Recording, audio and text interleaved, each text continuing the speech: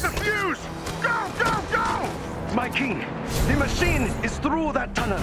From what I can tell, it is some kind of uh, fracking device. To mine for vibranium outside of the mound. Hmm. Thank you, Takami. Hmm. You should get your people back to safety. that was fun to watch. How are your people faring without a Kimoyo network, Orphan King? You think you are clever? I've had a decade to play with Vibranium. I was bound to learn a few tricks. Your black market Vibranium will never match Wakanda's. I agree. Why do you think I'm here? What has Klaue done? The destruction here. We will fix it.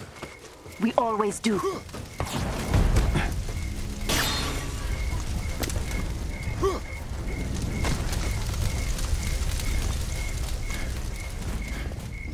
There's the machine!